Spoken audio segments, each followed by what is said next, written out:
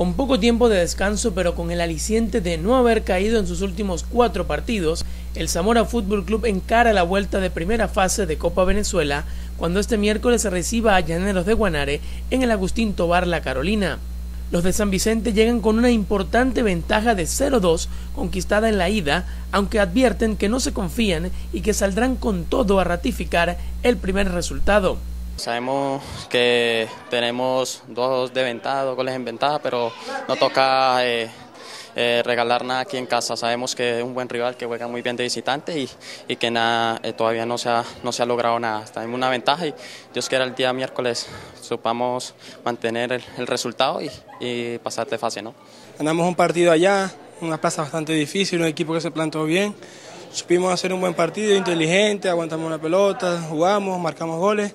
Y bueno, ahora se viene aquí el compromiso con la atenuante de que tenemos que mantener esa victoria, mantener el partido del cero y por ahí tratar de encajar primero gol para que nos llevemos la clasificación en la Copa.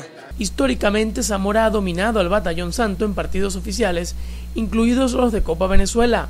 Sin embargo, el actual plantel guanareño se ha mostrado como un duro rival, capaz de revertir ventajas y sacar buenos resultados a domicilio. Sabemos que Llanero tiene muy buen juego aéreo y tiene jugadores bastante desequilibrantes. Tratar de, manejar la pelota y estar concentrado 100% los 90 minutos, creo que esa, va a ser la clave de, Zamora. Todavía la llave no está, cerrada, un equipo que, viene jugando ya junto, un equipo complicado, un equipo que sabe a lo que juega, un equipo que, tiene mucha estatura y una de las debilidades de nosotros, eh, pero que hemos contrarrestado muy bien. La idea es poder eh, armar un equipo y poder cerrar e, ese partido de, 180 minutos. Nos faltan 90 minutos para poder cerrar. El conocer al contrincante y apostar a su desesperación por encontrarse en desventaja son dos armas fundamentales que aplicará el blanquinegro para pasar de fase. Hemos estudiado muy bien a Llanero, sabemos sus debilidades, también cuáles son sus falencias y trataremos de atacarlos por ahí, no. Pero como te dije, primero partiendo desde el cero y bueno, ya jugar con, la desesperación de ellos, ¿no? que tienen que marcar los goles. Gracias a Dios tenemos un resultado a favor y también podemos jugar con la desesperación de Llanero y tratar de hacer un, buen partido ¿no? para poder acceder de fase.